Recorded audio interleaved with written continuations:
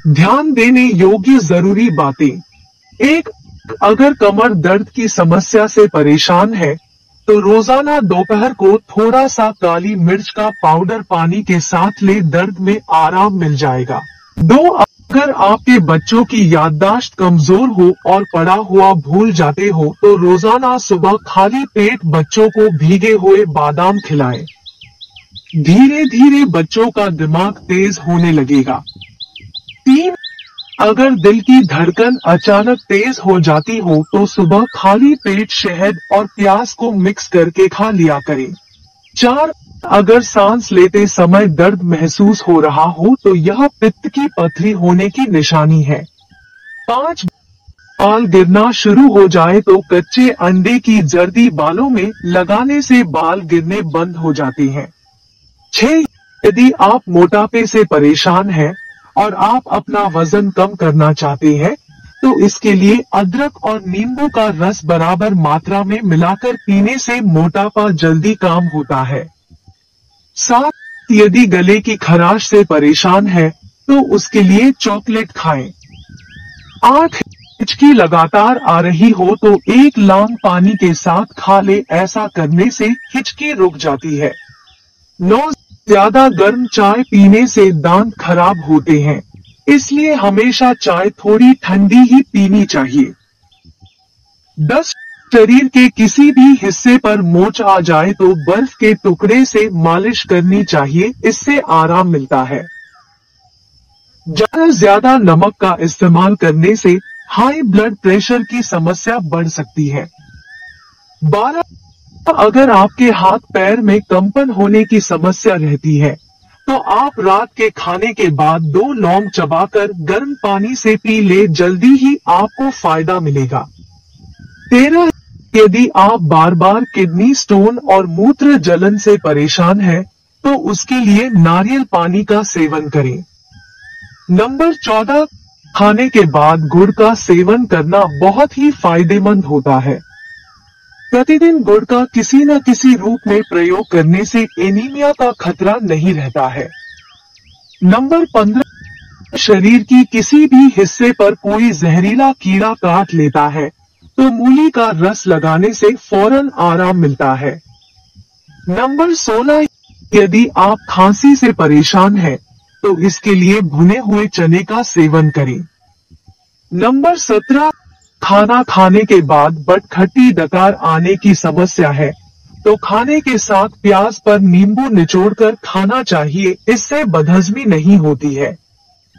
Number 18 हरे का seven करने से दिल की धड़कन नॉर्मल रहती है। नंबर 19 गुलाब का फूल सुनने से डिप्रेशन काम हो जाता है। नंबर 20 अगर आपके लीवर में कमज़ोरी है तो साबुदाने का सुबह शाम इस्तेमाल करें।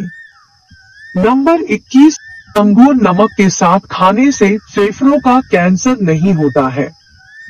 नंबर 22 कि आपको पेट में गैस बनती है तो आधा चम्मच दालचीनी का चूर्ण गुनगुने पानी के साथ खा ले, गैस बनना बंद हो जाएगी। नंबर तेईस, बकरी का दूध पीने से थकान नहीं होती है। नंबर चौबीस बासी रोटी खाने से दांतों में ठंडा गर्म लगने की बीमारी दूर हो जाती है और दांत मज़बूत रहते हैं। नंबर पच्चीस, इस नींबू की पत्तियों को कुचलकर सूंघने से सर का दर्द ठीक हो जाता है। नंबर 26 सुबह उठकर आँखों पर ठंडे पानी के छींटे करने से आँखों की रोशनी तेज होती है और दिमाग को ठंडक मिलती है। नंबर 27 खाना बनाते समय यदि हाथ जल जाए तो एक चम्मच एलोवेरा जेल में एक चम्मच शहद मिलाकर लगाने से जलनौर घाव जल्दी ठीक हो जाते हैं और निशान भी धीरे धीरे मिटता जाता है। नंबर 28 बंद जूते गर्मी में पहनने से नज़र कमज़ोर होती है।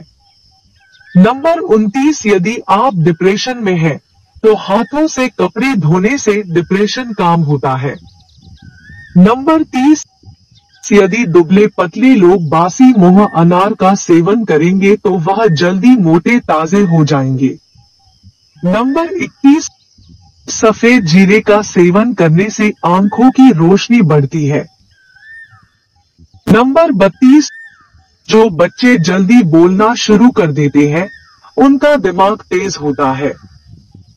नंबर तैतीस खाना खाने के बाद भारीपन महसूस होता है। तो आप गर्म पानी में काला नमक और नींबू मिलाकर पी ली, आपको आराम मिलेगा।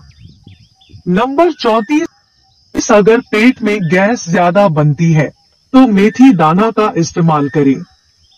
नंबर पैंतीस इस यदि शरीर के किसी हिस्से में गैस के कारण दर्द हो रहा है तो एक गिलास गर्म पानी पीने से गैस बाहर हो जाती है। नंबर 36 अगर आप दिल को मज़बूत करना चाहते हो तो रोज़ाना सेब खाओ। नंबर सैतीस, पैदल चलने से पहले थोड़ा गुनगुना पानी पी लो, कभी कमज़ोरी नहीं आती है। नंबर अड़तीस, केले और अंडे को कभी भी एक साथ नहीं खाएँ, यह शरीर के लिए नुकसानदायक हो सकते हैं।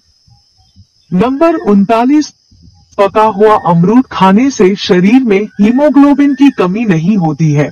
और जब शरीर में हीमोग्लोबिन की कमी नहीं होगी तो आपके शरीर में ब्लड आवश्यक मात्रा में बनेगा। नंबर 40 जिन लोगों को भूलने की बीमारी हो वह रोज सुबह और शाम अंगूर के रस को दो से तीन चम्मच पिया करे, इससे भूलने की बीमारी दूर हो जाती है। नंबर इकतालीस कहीं से चलकर आने पर तुरंत जल ना पिए हाथों पैरों को मत धोए और ना ही स्नान करें। पसीना सूख जाने दे कम से कम 15 मिनट विश्राम कर ले, फिर हाथ पैर धोकर कुल्ला करके पानी पिए। तेज गर्मी में थोड़ा गुड़ या मिश्री खाकर पानी पिए ताकि लू न लग सके। हमारी ये वीडियो सामान्य जानकारी के लिए बनाई गई है। अगर आपकी कोई भी बीमारी है तो पहले डॉक्टर से सलाह लें, फिर ये नियम अपनाएँ। हमारी ये वीडियो आपको कैसी लगी, ज़रूर बताएँ। अगर अच्छी लगी हो तो वीडियो को लाइक, शेयर कर दीजिए, चैनल को सब्सक्राइब कर लीजिए। धन्यवाद।